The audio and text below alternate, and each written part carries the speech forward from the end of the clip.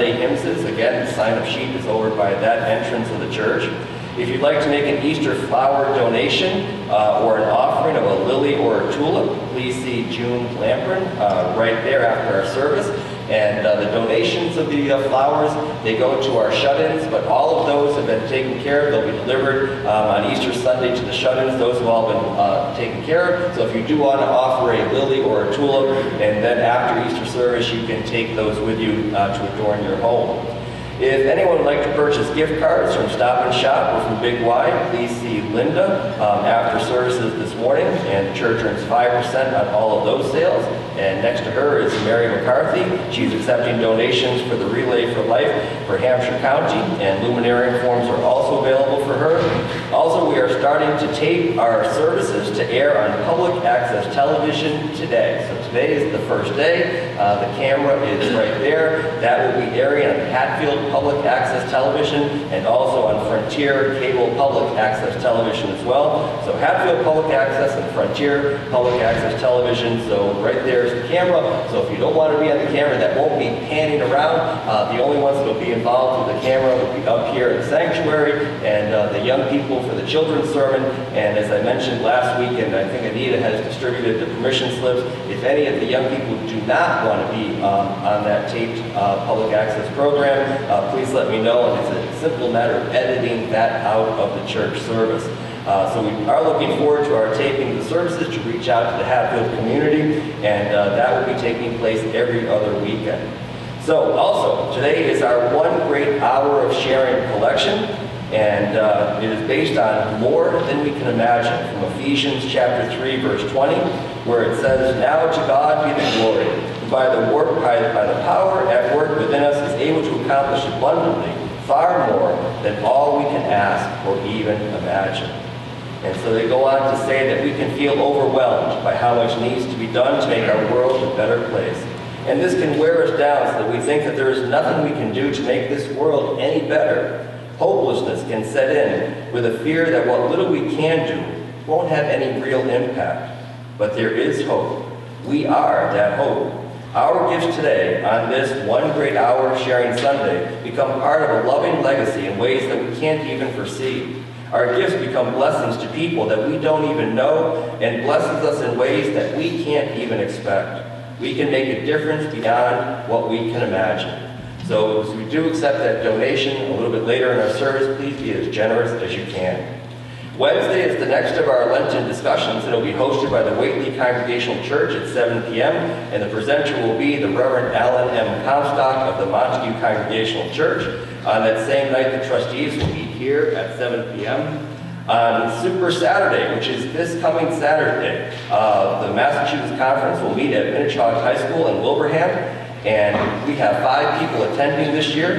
Betsy Ryder, Anthony Tracia, Amy Novak, Mark Gillette, and myself. And so that will be taking place basically all day on Saturday. And I would like to visit our parishioners in their homes, so if I have not yet had that opportunity, please do contact me. And are there any other announcements from the congregation? Yes. The uh, men's pancake breakfast is coming up on March 25th, on Sunday, and uh, all proceeds this year are going to go on safe passage. So if there's any uh, gentlemen that would like to help us out, um, you can have your So pancake breakfast on Palm Sunday.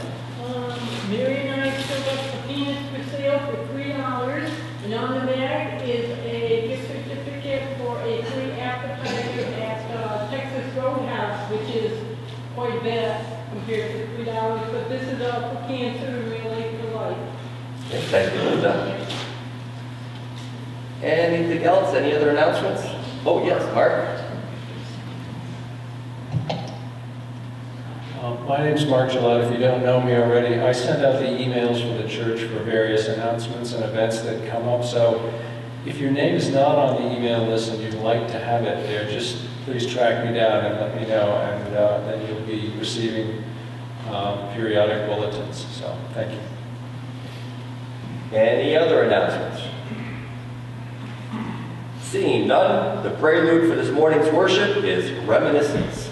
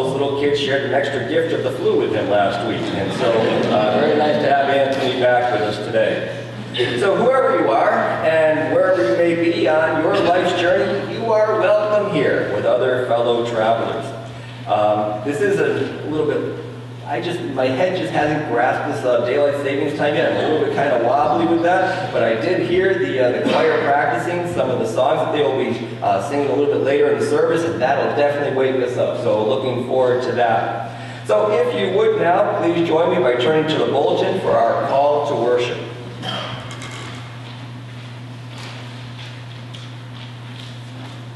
Light has entered our world in Jesus. That light was lifted high on the cross so that all who believe in him may have eternal life. Give thanks to God for giving us Son. The cross stands for Jesus' steadfast love, which. Let us live in the light of Christ's self-giving love. Let us work to help spread the message of such a Savior.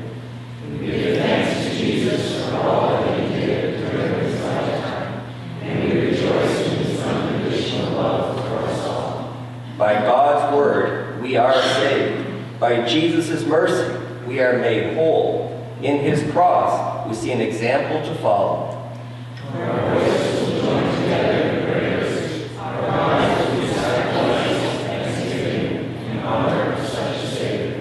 Praise be to God. Amen. May we now join together in our unison prayer. Loving Savior of infinite patience, we call on you once more, trusting in your generous kindness. Too often, amid the complexities of our lives, we have forgotten to set aside time to be still before you. We have forgotten to listen for your word. We have chosen darkness instead of light.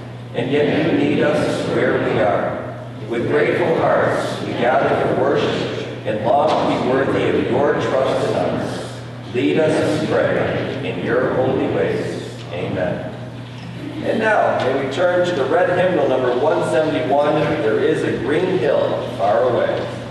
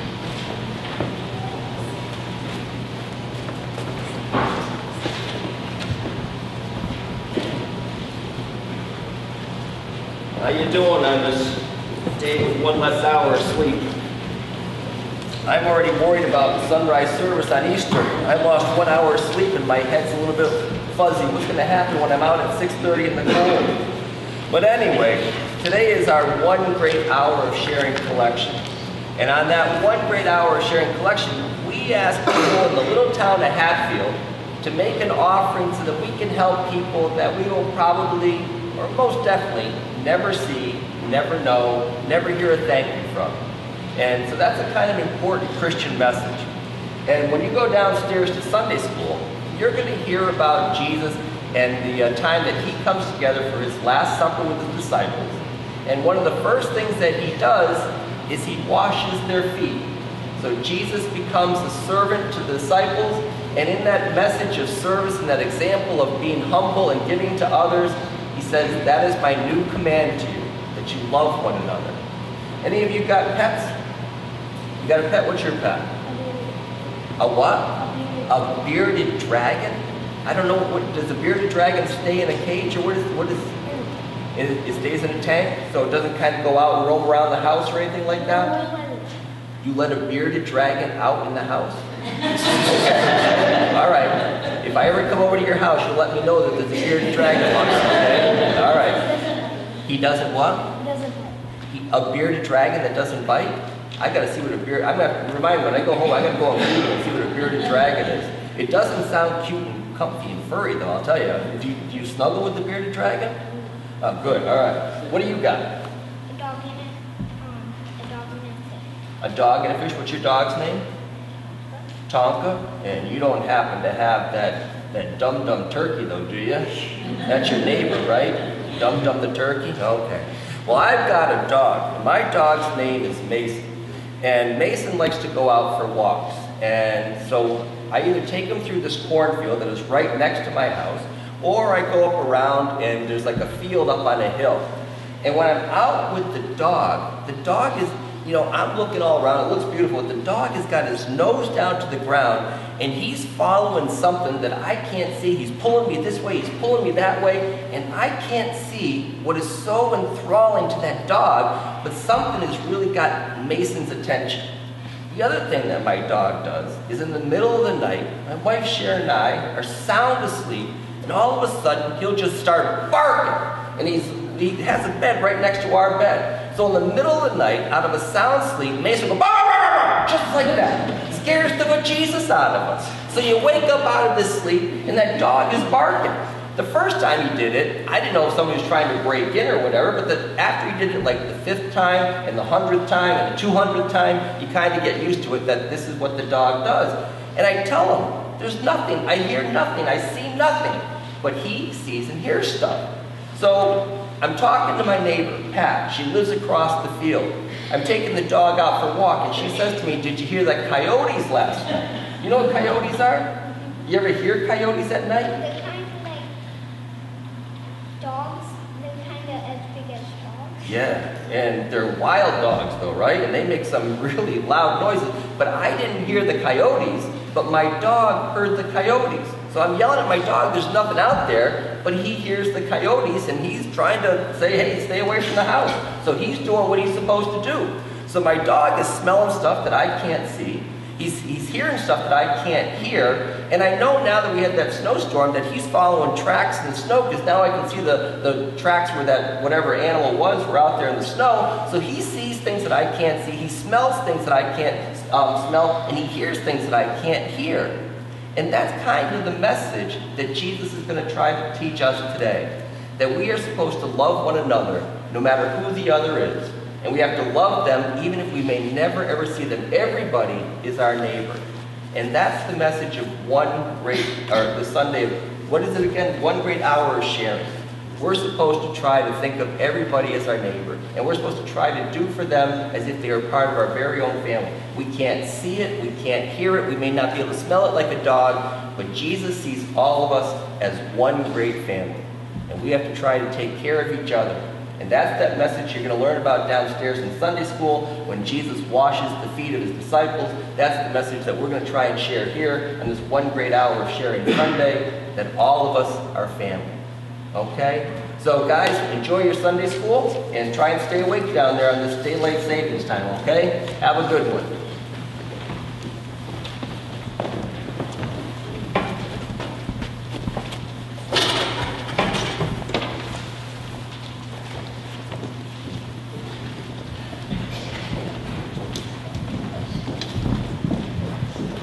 So the choir is going to be singing Lift High the Cross today, and we'd like to invite you to open your blue hymnals to page 108.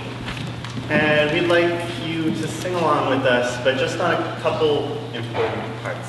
So they're going to open with the melody of the refrain, that's the part.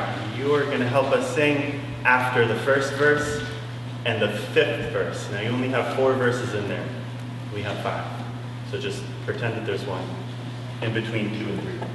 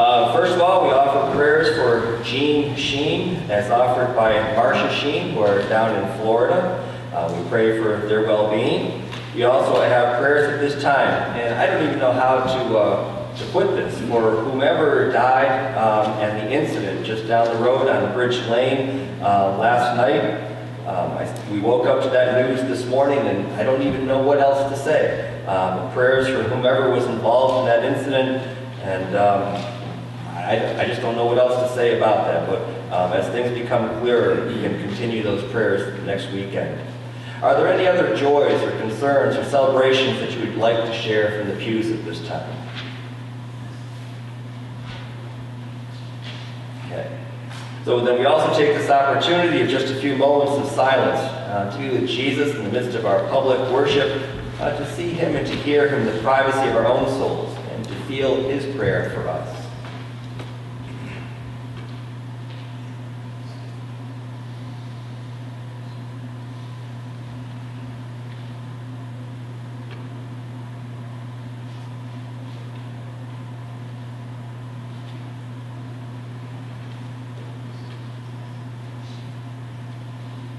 We read in the Bible that God so loved the world that he gave his only Son. This is a love hard to imagine, but is nonetheless the foundation of our Christian faith. It is this kind of love that lets us trust that God hears our prayers and watches over us, and that Jesus is close at hand, even when it seems like our prayers are not being heard. Let us be thankful for these opportunities to be heard and to also listen for Jesus. Please join me now in reciting the prayer that Jesus himself has taught us, the Lord's Prayer. Our Father, who art in heaven, hallowed be thy name. Thy kingdom come, thy will be done, on earth as it is in heaven. Give us this day our daily bread, and forgive us our debts, as we forgive our debtors. And lead us not into temptation, but deliver us from evil. For thine is the kingdom, the power, and the glory forever. Amen. As we share our gifts today to help support the work of this congregation and also our work through one great hour of sharing, which is collected throughout the United Church of Christ, we celebrate Christ's love and abundance in this world. In our generosity, we recognize that we are all part of God's one family. In our giving, we dare to imagine that Jesus will use our gifts in the world to do wondrous things, even more than we can imagine. So let us give now as generously as we possibly may.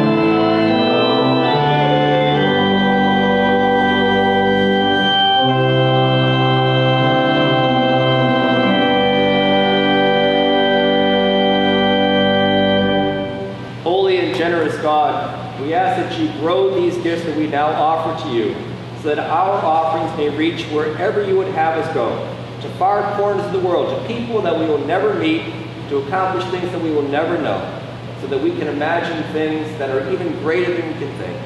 May these gifts help you and help us, and we ask that your blessings rest upon all these people who have given generously to this cause. Amen.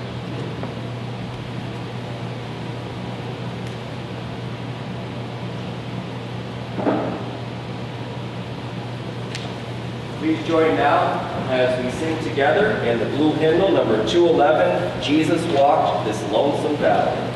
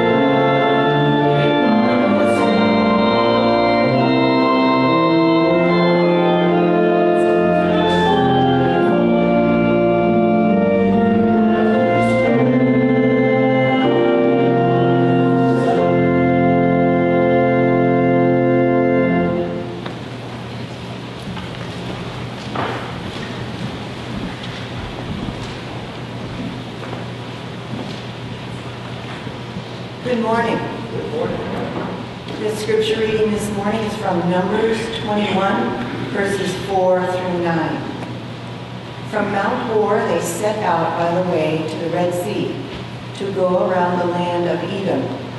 But the people became impatient on the way. The people spoke against God and against Moses. Why have you brought us up out of Egypt to die in the wilderness? For there is no food and no water, and we detest this miserable food. Then the Lord sent poisonous serpents among the people, and they bit the people, so that many Israelites died. The people came to Moses and said, We have sinned by speaking against the Lord and against you. Pray to the Lord to take away the serpents from us. So Moses prayed for the people. And the Lord said to Moses, Make a poisonous serpent and set it on a pole, and everyone who is bitten shall look at it and live. So Moses made a serpent of bronze and put it upon a pole, and whenever a serpent bit someone, that person would look at the serpent of bronze and live.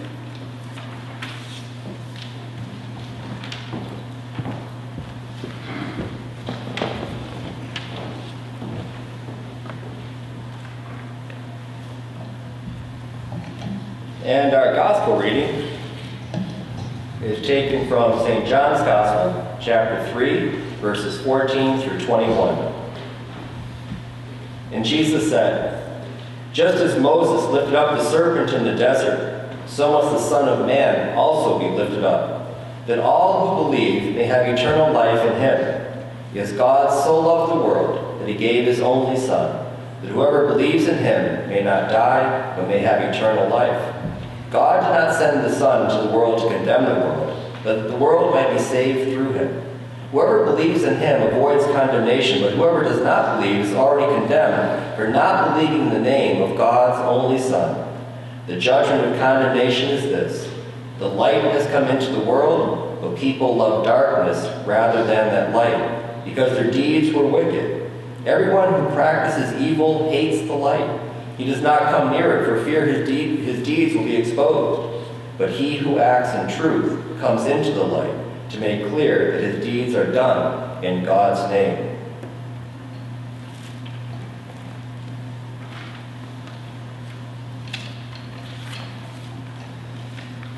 So may the words of my mouth and the meditation of our hearts be acceptable to you, O Lord, my rock and my redeemer. I don't know if you were able to see, but I, I caught that adorable picture of a little two-year-old Parker Curry staring in complete awe at the portrait of First Lady Michelle Obama down in the National Gallery in Washington, D.C. And her mother just wanted the little girl to turn around so she could take a picture of her standing there in front of the portrait. But it was like the girl was so captivated by how beautiful Mrs. Obama was that it's like her mother's voice just disappeared. She couldn't hear it. And so the mother kept saying, turn around, turn around, but she just kept looking at that picture. Now there was a stranger next in line, Ben Hines. And he was watching this whole display between Parker Curry and her mother Jessica, and he's the one who now took that famous picture of the little girl looking up at the portrait of Mrs. Obama, so captivated that everything else disappeared. And he posted it on Facebook, and it went viral. Michelle Obama, because it went viral, she came to hear about all of this, and she has an office right there in Washington, D.C. as well. And so she invited that little girl and her mother to come over to the office. And you may have seen the video, they had like this little dance party in her office. And then Mrs. Obama told that little two-year-old Parker, keep on dreaming big for yourself, and maybe one day I'll proudly look up at a portrait of you. Now that girl was impressed by Michelle Obama. And Michelle, Michelle Obama then took that as an opportunity to try to inspire that girl so that she would accomplish great things in her own life. Now today we share one of the most familiar of all New Testament passages. For God so loved the world that he gave his own son. This memorable teaching is found in the context of the Nicodemus story. And Nicodemus was a much respected Pharisee, he was a much respected religious teacher, and Jesus is a carpenter from Nazareth. And so he comes out to Jesus, but in nighttime, in the cover of darkness, because he is so well known. What is he doing going to talk to Jesus, this carpenter from up in Nazareth? So he goes under the cloak of darkness. And in their conversation, Jesus and Nicodemus, we hear another well-known passage. And Jesus says to Nicodemus, you must be born again. And these are words of renewal. This is Jesus talking about a refreshed spirituality. Not one that just follows the law, not one that just has to do what you're supposed to do, but one that feels a personal connection to God. One filled with vigor and enthusiasm. One lived in the light, not one sneaking around in the darkness like Nicodemus had done. One in which our faith is so important to us that it's almost like being born again. He was challenging Nicodemus to move beyond his fears and his own expectations because Jesus was not what the law expected, but there he was. And so he's challenging Nicodemus let go of your expectations and try to follow God's expectations and allow it for a new beginning to unfold. And just like our physical births begin a whole process of growth, so should our spiritual rebirths. But then, in this whole conversation about coming out of darkness into the light, being born again, Jesus throws in something completely unexpected. He talks about the cross. When Jesus is lifted high, in other words, when he's raised up on the beam of that cross and lifted up on that mountain so that all can see him as they're entering Jerusalem, as Jesus is sitting there all by himself up on that cross, like that last hymn said that Jesus had to do it all by himself, all by himself up on that cross, then we will understand what a spiritually renewed life is all about. He points to the cross, to his death, as a, as a way to explain what living is all about. Poor Nicodemus. This guy is only doing his best to try and understand who this Jesus is. At least he went to Jesus. Even if under cover of darkness, at least he went to Jesus, trying to figure out, can he be the Messiah? He's already so confused about this talk about being born again. And now Jesus tries to explain being born again, this whole idea of Christian life, and he points to the cross and to his own upcoming death. This is because for Jesus, The cross is not about death and dying. The cross instead is the greatest, most profound statement that his whole life could ever make of for God so loved the world that he gave his own son. You know, sometimes I think we forget what that implies. You know, God is up in heaven. The, the all-powerful God is up in heaven. And if any of you are parents, just think about what that means when we say that God gave his own son. Who of us would ever sacrifice their child uh, for something as, as grand as this or for something petty? Who would ever think about having to sacrifice a child like that? But it says that God gave his own son because he loves us even more than he loves himself. And that cross, therefore, stands for a kind of a message of love that I think is beyond our imagination. It is something that we have to try to appreciate and come more and more to the light to try to understand more and more about life. That this kind of a God is the God that we come to worship every week. That this is the God who loves us even more than he loves himself. The cross is Jesus' complete, loving commitment to each and every one of us. And not only to the ones who say Jesus is Lord, but even to the ones who put him on the cross.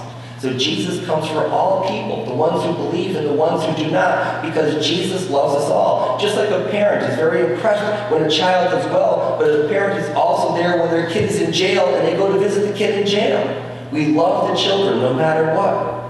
God loves us no matter what. That is that message of the cross, that unconditional love. And that is what Christian life is supposed to be. It is a huge challenge for all of us. So when we look up at that cross, it should be a little bit like Parker Curry looking up at the First Lady's portrait. We should be captivated by that image of our God on the cross because he so loved the world that he gave his only son.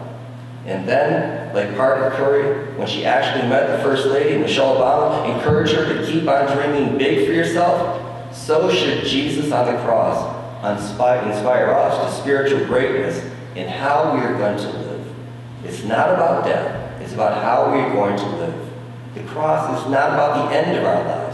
The cross is about our lives, period. The cross is about how we are going to make a difference in the world. The cross is Jesus saying to us, keep on dreaming big for yourself. Don't think only in small terms. Think in those huge terms of God so loved the world. Don't let our fears and our own limitations, you know, hamper us in that. We must be more than we can imagine. You know, I've been posting a daily sentence or two on the church's Facebook page. And I've been basing it on the UCC lectionaries. Every day they have three different readings that they would like us to turn to. And this past week we were asked to think about a message that was found in Psalm 84. And one of our choir members, I won't mention the name, but the initials are Keith, right there in the front row. He replied with a link to a recording of this psalm. And the psalm was beautiful, and it was being chanted by the choir at Exeter Cathedral in England.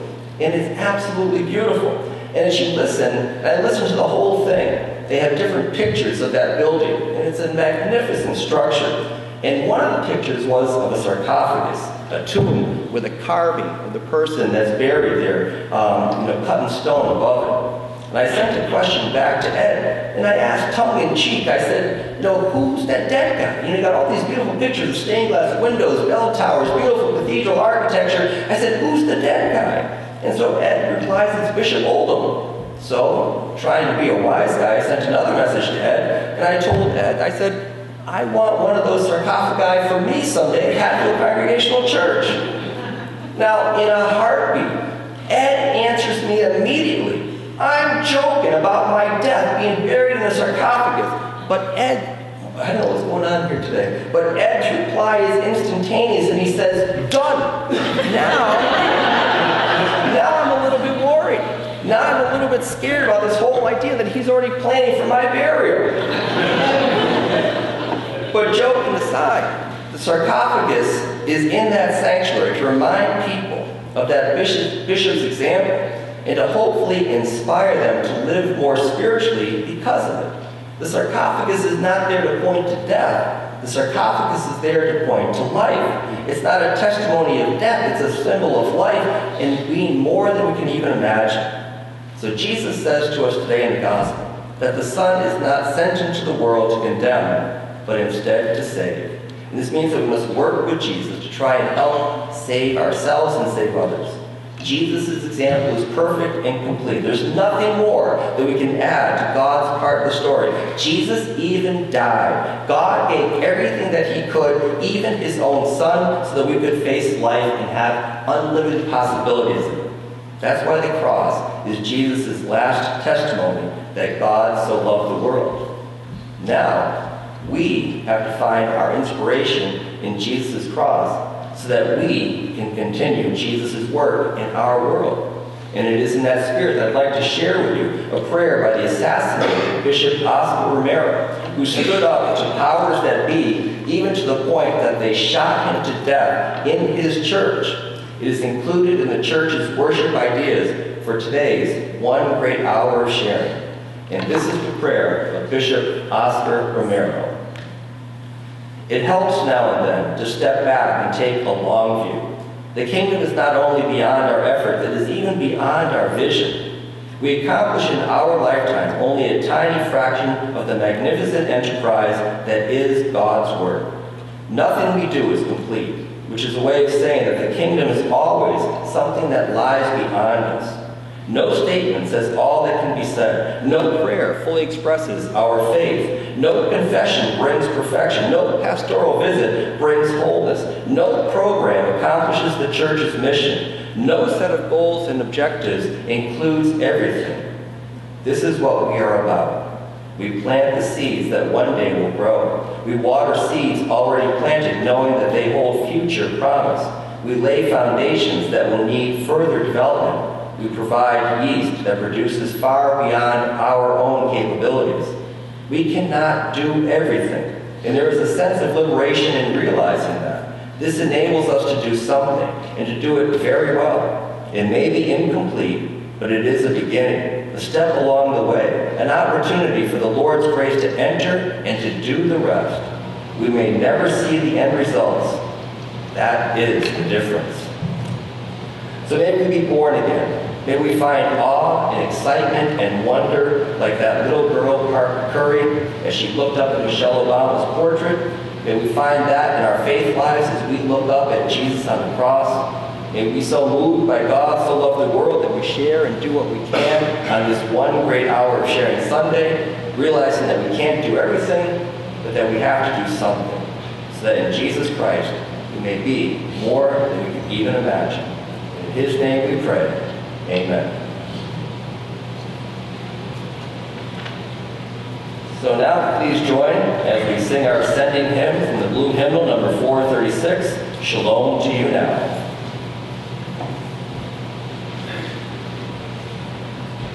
We've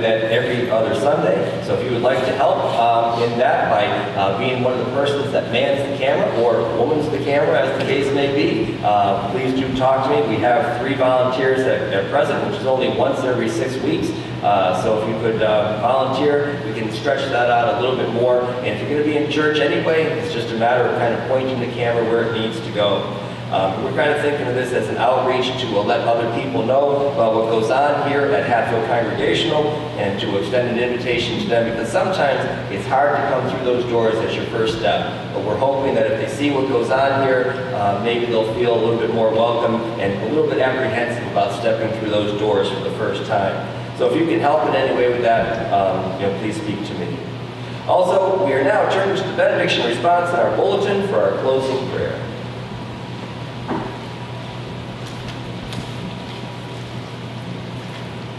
God sent Jesus that the world may believe. God sends us into that world to share Jesus' proclamation and to continue his work. Let everyone see the light that we have received here in God's house. Live openly so to share this good news. We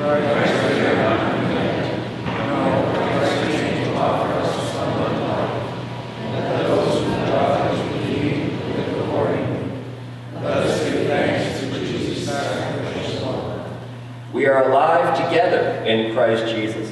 He offers to all the hope of eternal life and also the promise of a purpose-filled life here and now. By grace, we have been empowered by God to share the love of Christ. So let us go forth in that power to share the love and the light of Jesus' good news.